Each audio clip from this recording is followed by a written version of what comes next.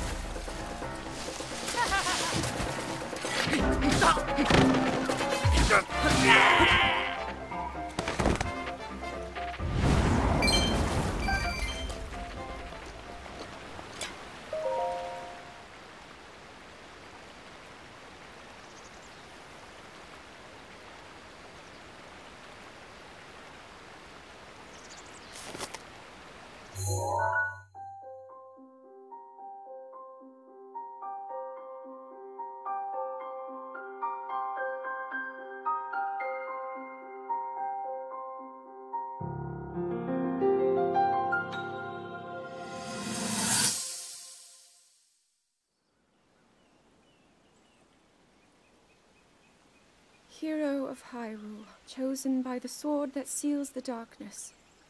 You have shown unflinching bravery and skill in the face of darkness and adversity, and have proven yourself worthy of the blessings of the goddess Hylia. Whether skyward bound, adrift in time, or steeped in the glowing embers of twilight, the sacred blade is forever bound to the soul of the hero.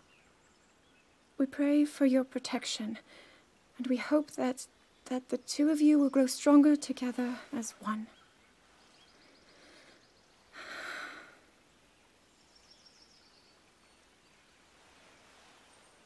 Forged in the long distant past, Gee, this is uplifting. She's making it sound like we already lost. Wasn't this your idea? You're the one who wanted to designate the appointed night with all the ceremonial pomp, grandeur, and nonsense we could muster. And if you ask me, the whole thing does seem to be overkill. I think I'm on the same page as the princess regarding this boy. Oh, give it a rest. That boy is a living reminder of her own failures. Well, at least that's how the princess sees him.